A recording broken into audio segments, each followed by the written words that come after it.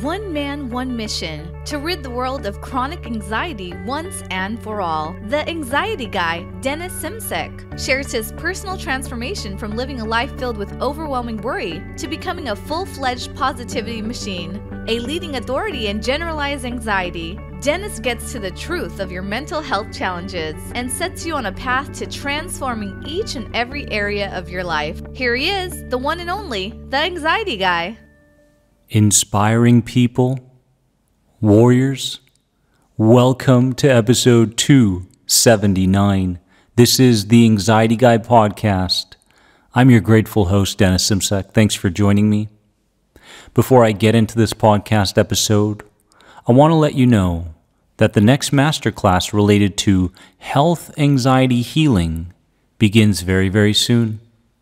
If you want to sign up, head over to theanxietyguy.com, click on the members option, and join our monthly masterclasses each and every month towards the end of each month.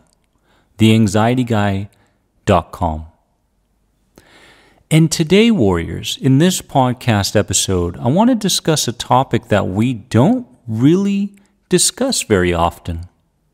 I know that there's a lot of information, a lot of content out there related to social anxiety cures, social anxiety help for anxiety sufferers, but I wanted to add my own piece to the puzzle. And when I think about my own experiences with social anxiety, I mean, you can see how all of it gets interconnected, right? So you've got the panic disorder part where you're afraid of panicking in front of people. You're afraid of the build up towards a panic attack. You've got the health anxiety part where you're always focused on a particular symptom, a sensation in your body, and recognizing whether the opposing person or the people around you, in fact, see how nervous you are, and in fact, you want to make sure that you're not making a fool out of yourself. Then you've got the general anxiety part where you're just catastrophizing all the time and you're mind reading other people, and in fact, you're fortune telling, believing that you can tell the future when in fact, we have no idea. And when we talk about all these different disorders, we can see how it can truly affect our social life. And, warriors, your social life is very important. Very important, in fact. When we think about the four fundamentals to healing, we're talking about HALT. We're talking about hunger and blood sugar levels. We're talking about anger and whether you're still holding on to something from your past. And we're talking about loneliness. We're talking about a feeling of being disconnected, disinterested. And we're talking about T, tiredness. But today it's more so about the loneliness part because social anxiety can in fact bring you to a place where you do feel very lonely and you feel very misunderstood because a big part of you wants to connect with others, but there's a big part of you that is afraid to make a mistake or do the wrong thing or show your weaknesses or be too emotional or whatever it is. And so my personal experience was that I went in and out of this, and I used, temporarily in fact, sometimes I used an alcoholic beverage to loosen me up, right? Loosen me up around people so that I could speak, so that I could be a part of the conversation. I had a lot to add. I had a lot of value to give to people. I cared about people, but at the same time, my self worth was depleting. I mean, it was demoralizing. I felt worthless. I felt like everybody was better than me. I felt like it was rock bottom. And I know that some of you are feeling that way too. And trust me, rock bottom is a very good place to begin your healing journey. We check in with our feared centered identity unconsciously only to be met with walls and blocks. What this means is that we're always checking into our fear centered identity. We're checking in and we're asking, consciously, unconsciously, hey, is it okay to go to this meetup? Is it okay to converse with Jody? Is it okay to meet Tim? Is it okay to talk to this stranger who's talking to me? When we check in with that fear centered identity, what tends to happen is it tells us not to do anything that is outside of our comfort zones. So we look to escape, escape, escape. And the more we look to escape, the more we look to prevent, prevent, prevent, prevent this occurrence from happening again. Next thing you know, we go into our shells, our comfort zones, and we find that we're living a very small life. A life we're not meant to be living. We're meant to be living this life in all aspects, lovingly, courageously, and with a high degree of curiosity. I want you to understand that social skills are skills, skills like any other skills. You've got skills. You've got a ton of skills. And when you start to look at your social skills the same way, you can begin to become more patient with yourself and compassionate, knowing that this is a journey in itself.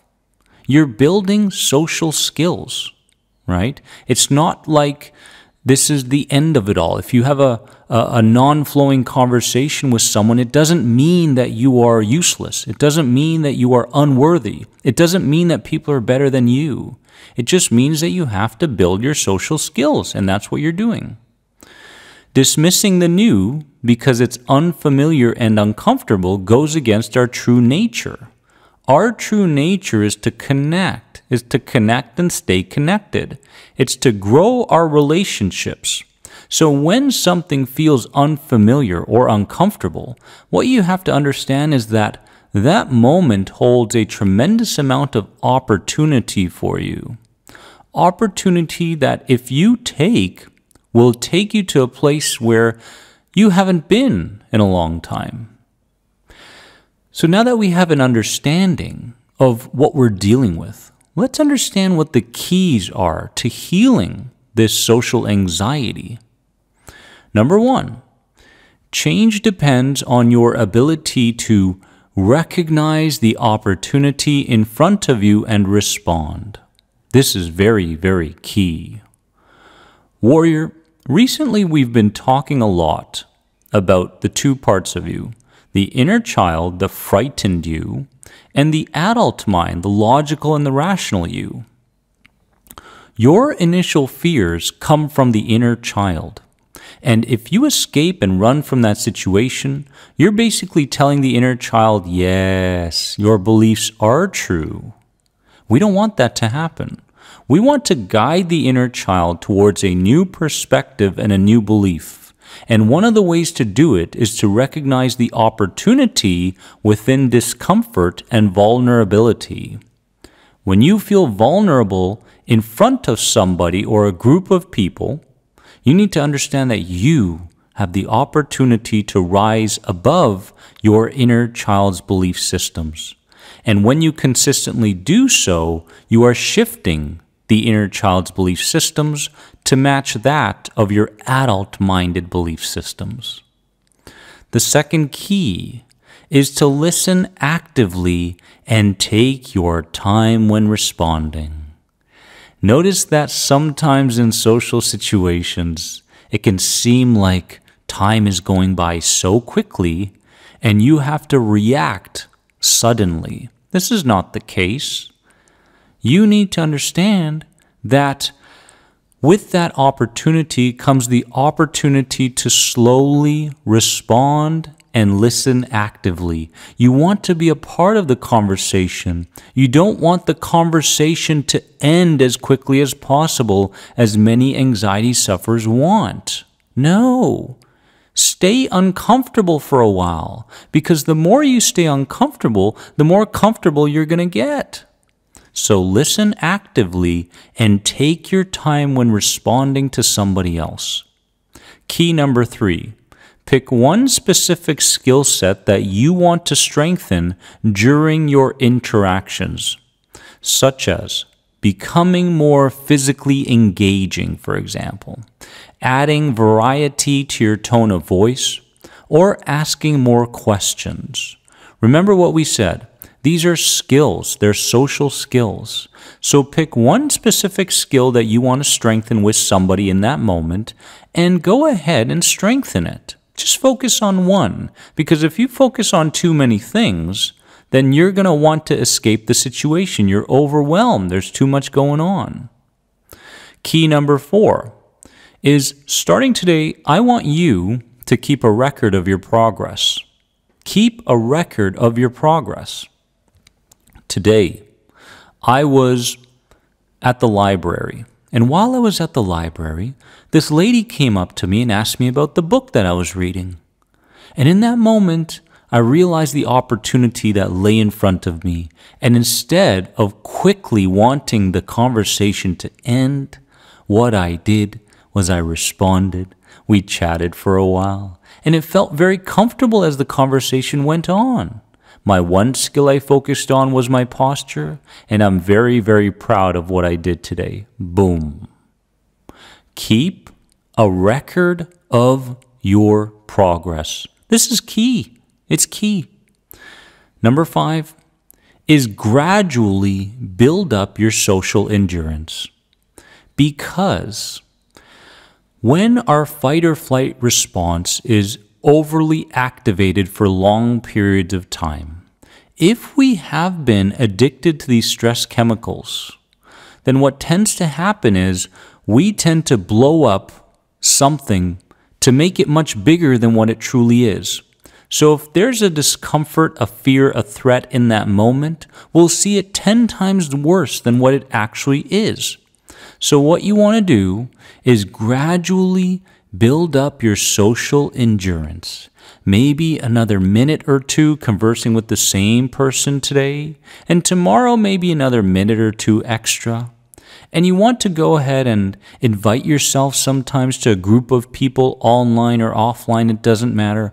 But gradually build up your social endurance to the point where you feel like you can spend hours with people you don't even know and maintain the conversation and most importantly, enjoy yourself.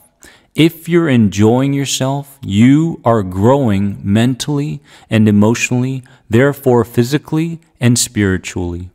That's what we want, warriors. So, in closing, I want you to understand that if you're suffering from this social disconnect, I'm not even comfortable calling it social anxiety because many times, yes, it's socially uncomfortable, but it's not really social anxiety. It's not like we are so, so threatened by others. There may be a small percentage of people, but most of us still do what we have to do right? We still are there in front of people each and every day. So it's a social discomfort more so that we're dealing with. And what we want to do is we want to gradually make it comfortable by going through these keys each and every day. And if you do, I promise you it's going to add a tremendous, a tremendous amount to your life because people out there need to get to know the true you not this artificial version of you that holds up a little mask and is very, very nice to people all the time and prioritizes others before herself or himself. Of course, you want to be nice. You want to be gentle with people, but you don't want to put yourself at the bottom of that pedestal. You don't want to hold others at the top. Because remember this more than anything, and this is the most important thing that you can hear today when it comes to social discomfort and social anxiety. You are the prize. In the end, you are the prize. People getting to know you means that their lives will get so much better because of. You are the prize, nobody else. And if you begin to see yourself that way, then you will begin to progress. You will begin to thrive. I believe in you. Warriors, you are more than anxiety. Don't forget it. If you're enjoying this podcast, please go ahead and give it a positive rate and review.